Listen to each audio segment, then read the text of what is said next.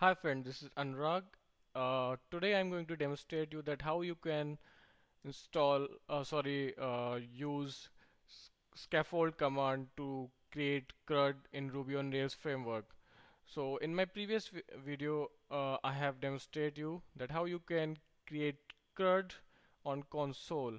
And in my today's video, I'm going to demonstrate you how you can use CRUD by using scaffold command through browser. So let's get started. Just going to write the command rails g for generate scaffold scaffold name which is post in my case title which is the attribute and string colon string which is the data type for that attribute just click on enter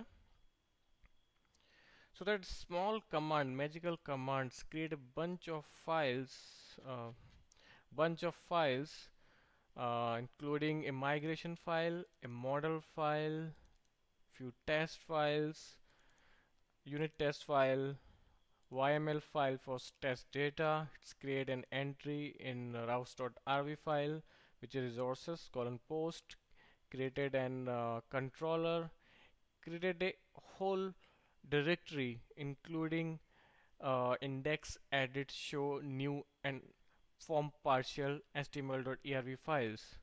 It creates a test unit file helper and few other files. So you need to run the command uh, to run the pending migration. As we we have already seen that that commands created a migration file. So just on the command rake db colon migrate.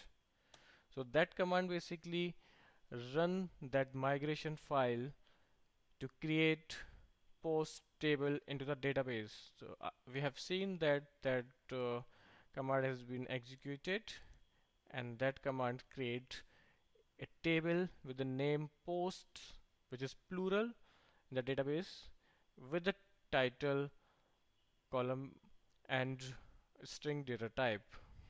Now you need to start the server by command rails s. So Rails server has been started.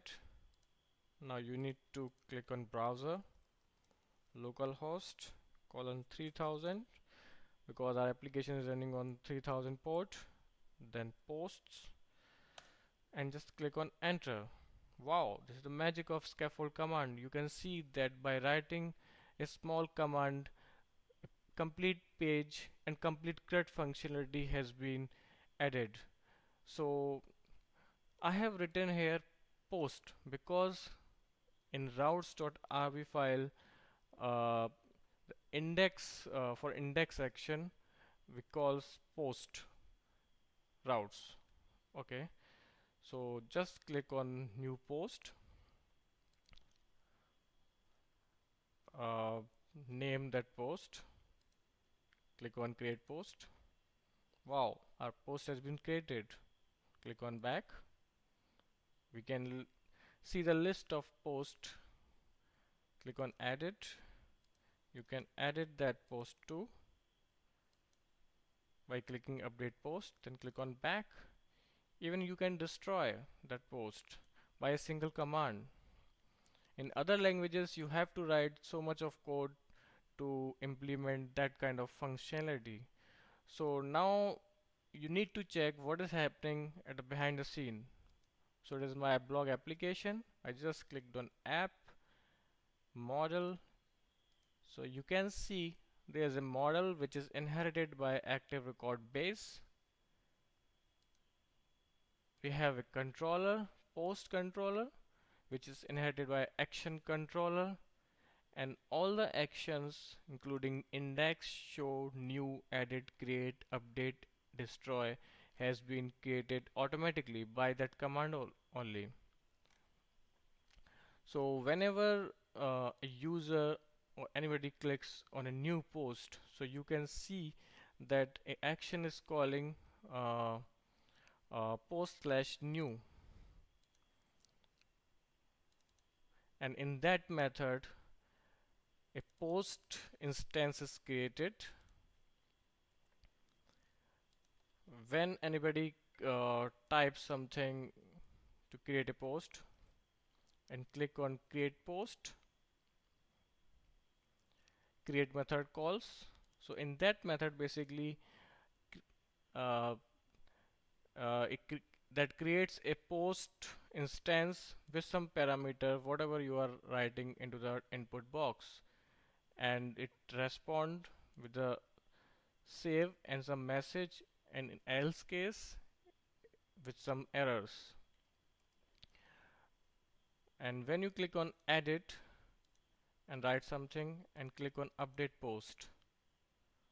So controllers update methods call in that method basically update methods works and takes new parameters and save and update the instance.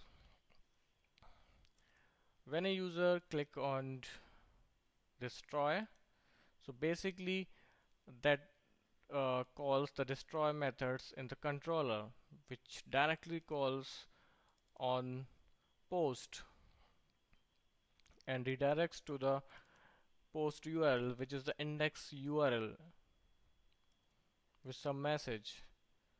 So that was the whole tutorial for scaffolding in Ruby on Rails. I will uh, demonstrate you some other stuffs about scaffolding and validations in my next video tutorial. Thanks for watching the tutorial. Thank you